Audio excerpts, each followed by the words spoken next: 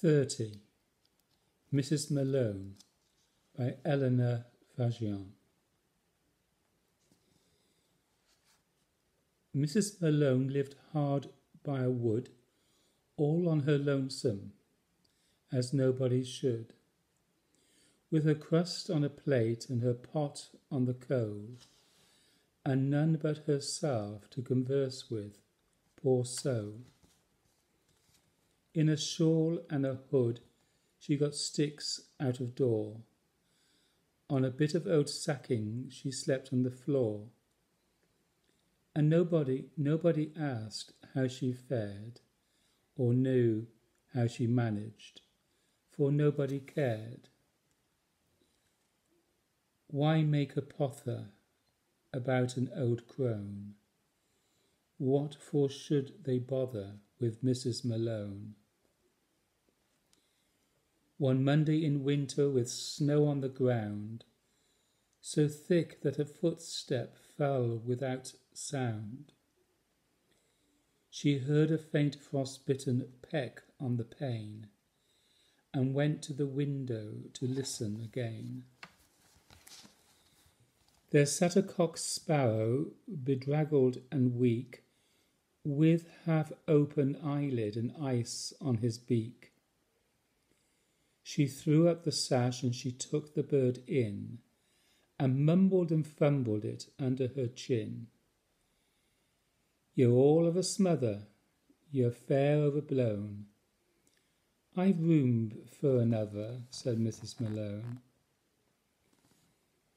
Come Tuesday while eating her dry morning slice, with the sparrow a picking, ain't company nice she heard on her doorstep a curious scratch, and there was a cat with its claw on the latch. It was hungry and thirsty and thin as a lath. It mewed and it mowed on the slithery path.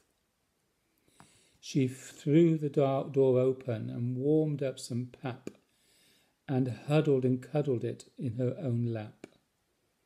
There, there, little brother, your poor skin and bone. There's room for another, said Mrs. Malone. Come Wednesday, while all of them crouched on the mat, with a crumb for the sparrow and a sip for the cat. There was a wailing and a whining outside in the wood, and there sat a vixen with six of her brood.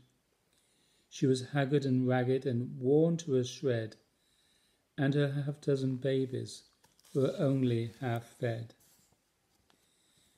But Mrs. Malone crying, My ain't they sweet, happed them and lapped them and gave them to eat. You warm yourself, mother, you're cold as a stone. There's room for another, said Mrs. Malone. Come Thursday, a donkey stepped in off the road with sores on his withers from bearing a load. Come Friday, when icicles pierce the white air, down from the mountainside lumbered a bear. For each she had something, if little, to give. Lord knows the poor critters must all of them live. She gave them her sacking, her hood, and her shawl. Her loaf and her teapot she gave them her all. What with one thing and to other, my family's grown. And there's room for another, said Mrs. Malone. Come Saturday evening, when time was to sup, Mrs. Malone had forgot to sit up. The cat said meow, and the sparrow said peep. The vixen she's sleeping, the beat, the bear let her sleep.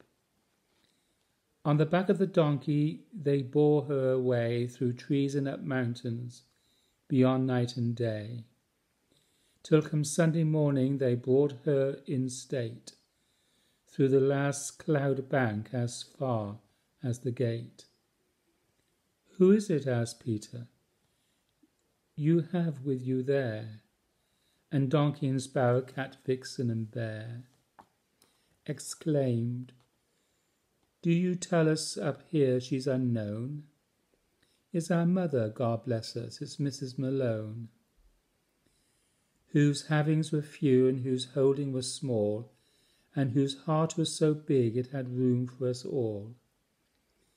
Then Mrs. Malone of a sudden awoke. She rubbed her two eyeballs and anxiously spoke. Where am I, to goodness, and what do I see? My dear, let's turn back. This ain't no place for me. But Peter said, Mother, go in to the throne. There's room for another one, Mrs. Malone.